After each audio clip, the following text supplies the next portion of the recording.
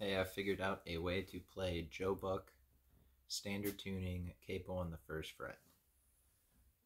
I'll play a bit and then I'll explain it.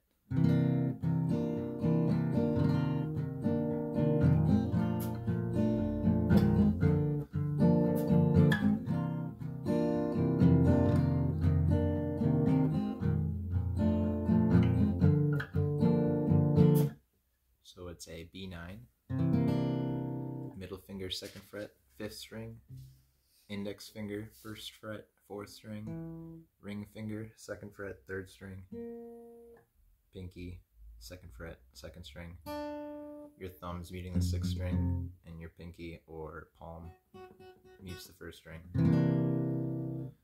And then you lift off your index, and you let the first string ring out optionally. You'll hear him occasionally do that. You can leave it muted. And then you go on to A um, major 7.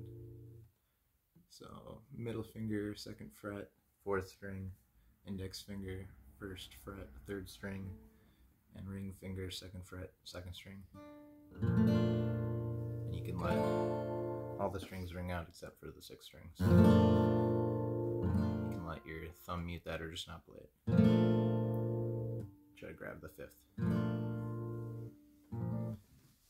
Go into F sharp minor 7. Except you want to grab it like ring finger on the fourth fret, fifth string, and then your index finger bars the second fret, fourth, third, and second string. And then you kind of want this like six string rattling. So it's kind of like.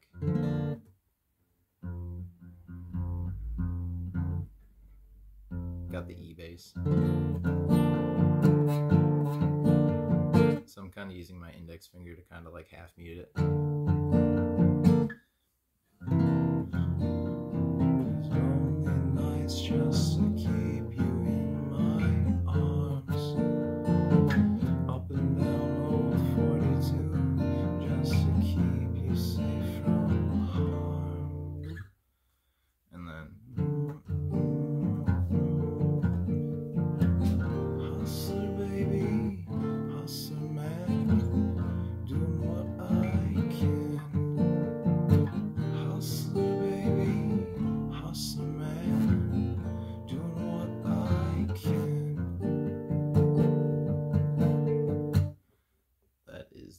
Part of the song. So D major 7, which is you're just barring or fretting second fret, first, second, and third string, and you're playing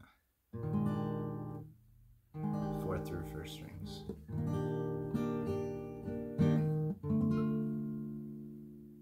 And that is a D flat or a C sharp minor 7.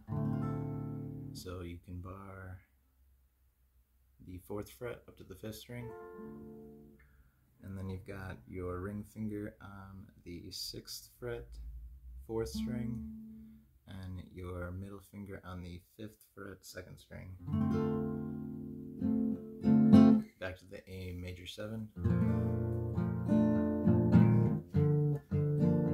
And then that F sharp minor 7 with an E root, so slash E.